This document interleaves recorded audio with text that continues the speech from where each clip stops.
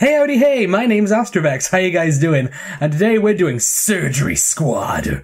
And this is about ingrown toenail removal, which is um actually something I suffered with when I was younger. When I was about 12, um, I was really in and out of it, and it was just really annoying, and it was really, really bloody painful. And my friend was just like, oh, there's a game about it, you should totally play it. And I was like, why would I want to relive it? And then I realized, eh, it might be fun, so let's have a look. Apparently, at the beginning, it says this surgery may contain graphic procedures inappropriate for children or squeamish adults. So, if this isn't your thing, go watch something else. I think the Game Grumps have a video up that just went up, uh, so you know, check that out. But if you feel like you want to look at something a bit winceful, then join me. Why don't you? Come on, it'd be great. So, let's begin. Ingrown Toenail Movie is sponsored by Clearly Trained Medical Simulations Corporate Training and E-Learning. Surgery Squad with two nails impaled on a trident. Hello, and welcome to Surgery Squad's virtual Hey. ingrown toenail removal. I'm Dr. Jeff, and I will be Hi, guiding Dr. you Jeff. through this procedure today. An ingrown toenail Ugh. happens when the edge of the toenail grows down and into the flesh of the toe. Mine didn't look When this anything occurs, like that. there is usually a moderate amount of pain, redness, and swelling around the toenail. That's true. An ingrown toenail is usually caused when extra pressure is applied to the toe due to shoes that are too tight or too loose. I think that was my thing, shoes trimmed not being- toenails, foot or toe deformities, injuries, and fungal issues can also be contributing factors. Oh, I really regret getting a big monitor there are some That's ways to treat an ingrown toenail at home to relieve some of the pain. But remember that you should never attempt to remove an ingrown toenail yourself. Oh, if you're a that's why I was diabetic and have an ingrown toenail, No, I- it is recommended that you go to the doctor immediately.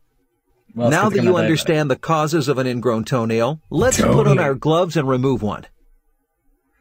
I Our patient gloves. is ready, so let's begin by disinfecting the toe. This is my first day. I didn't know I was going to be. Oh shit. Uh, click and drag the iodine to sterilize the area. Click continue when done. Okay, so I'm guessing it's this red area. But why stop there? I think we should do the whole toe. You know, make it nice and pretty. Nice and pretty here. So a little bit there. And a little bit here. And there we go. Isn't that much more attractive? That That is the foot of an Oompa Loompa. That is like someone who just dipped their foot in Lucozade. it, well, it's obviously covered now. I, you know, it's good to be thorough. Now, we need to numb the toe with a local anesthetic. I'll get a we'll hammer. have to inject the anesthetic in several locations around the toe. Click where indicated to inject the local anesthetic. Um, oh, I remember this. Oh. Oh, I remember that sound. Oh god. It was awful. Oh, this was the worst one at the top. Uh, I remember I had to distract myself by reading a PlayStation magazine. I was reading about Devil May Cry as they were injecting my foot. Oh, actually, especially it was the Great. grossest thing ever. Now we'll wait a few minutes for the toe to get numb. Whoa! It's the best waiting ever. Now that our patient's toe is numb, Mm-hmm. place the special tourniquet around the toe. This will help reduce the amount of blood coming from the wound. Once you've done that, we can move on to removing the ingrown portion of the toenail. Don't worry, buddy. I gotta keep this around it. Don't you worry. I'll keep it there. Look, it's working. First, carefully slide one blade of the Ah. nail anvil under the affected nail. Oh, this all comes back now. No. Oh god. Oh, please hold my hand, please. Hold my hand. No, fine. Screw you. Okay, brace yourself. We're going to go down the nail until we feel a little bit of resistance. Oh, Our patient's going to feel some pressure as we Oh, cut away the pressure. ingrown nail. I felt it. Oh, it wasn't this big. Oh, mine was tiny compared to this. Ooh, no, one more. Oh, Great. the worst. Take the forceps and carefully remove the ingrown nail. Oh god, it's like I'm doing my own surgery. This is weird.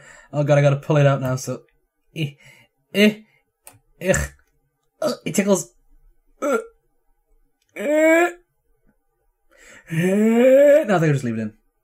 Eh, there we go. Oh, a little strand of blood on it's it. getting Oh. kind of messy in there. Let's clean up that blood. Yeah, this is a bit messy. Yeah, there you go.